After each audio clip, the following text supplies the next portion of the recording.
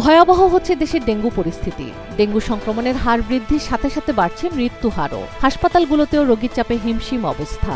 সরকারি হিসেবে চলতি মাসে ডেঙ্গুতে মৃত্যু হয়েছে দুশো ছিয়াশি জনের। আজ জানুয়ারি থেকে আজ পর্যন্ত মৃত্যু হয়েছে পাঁচশো সাঁত্রিশ জনের। চলতি মাসের গেল পঁচিশ দিনে আক্রান্ত হয়ে হাসপাতালে ভর্তি হয়েছেন ষাট হাজার তিনশো বান্ন জন। প্রাকৃতিক দুর্যোগের কারণে পিছিয়ে যাওয়া চট্টগ্রাম শিক্ষা বোর্ড, বাংলাদেশ মাদ্রাসা শিক্ষা বোর্ড ও বাংলাদেশ কারিগরি শিক্ষা বোর্ডের এইচএসসি ও সমমানের পরীক্ষা শুরু হবে আগামীকাল রবিবার।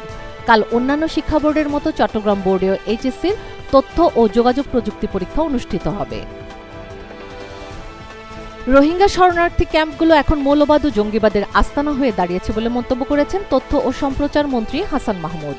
দুপুরে ঢাকা বিশ্ববিদ্যালয়ের সিনেট ভবনে রোহিঙ্গাদের নিয়ে আয়োজিত এক সেমিনার শেষে তিনি বলেন, সেখান থেকে ধর্মান্ধ গোষ্ঠী এবং সন্ত্রাসী গোষ্ঠী রিক্রুটমেন্ট করার সুযোগ তৈরি হয়েছে। যেখানে বাক স্বাধীনতা নেই, এমন গণতন্ত্র আমরা চাই না। দীর্ঘদিন ধরে এর প্রতিবাদ করে আসছি। শাসক গোষ্ঠী কর্ণপাত করেনি। প্রধানমন্ত্রী নিজেই আমাদের আন্দোলনের দিকে ঠেলে দিয়েছেন। শনিবার ঢাকা রিপোর্টার্স ইউনিটিতে অনলাইন প্রবাসী বিএনপি সমর্থক পরিষদের প্রতিবাদ সভায় এসব কথা বলেন বিএনপির ভাইস চেয়ারম্যান আবদুল্লাহ আল নোমান। পহেলা সেপ্টেম্বর স্মরণকালে সর্ববৃহৎ সমাবেশ করতে চায় ছাত্রলীগ। ঢাকা সোহরাওয়ার্দী উদ্যানের সমাবেশে পাঁচ লাখের বেশি শিক্ষার্থীকে জড়ো করার ঘোষণা দিয়েছে সংগঠনটি। সকালে ঢাকা বিশ্ববিদ্যালয়ের মধুর ক্যান্টিনে এক সংবাদ সম্মেলনে ছাত্রলীগ সভাপতি সাদ্দাম হোসেন এই ঘোষণা দেন।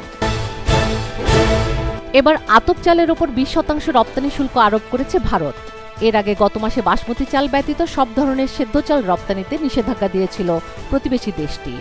স্থানীয় সময় শুক্রবার ভারতের কেন্দ্রীয় বাণিজ্য মন্ত্রণালয় থেকে এক নির্দেশনায় রপ্তানি শুল্ক আরোপের ঘোষণা দেওয়া হয়। ভারতের দক্ষিণাঞ্চলীয় রাজ্য তামিলনাড়ুর মাদুরাই জেলায় ট্রেনের কামরায় আগুন লেগে অন্তত জন নিহত হয়েছেন। সেই সঙ্গে আহত হয়েছেন বিশ জনেরও বেশি মানুষ। শনিবার ভোরবেলায় মাদুরাই শহরের একটি রেলওয়ে স্টেশনে ঘটেছে এই দুর্ঘটনা।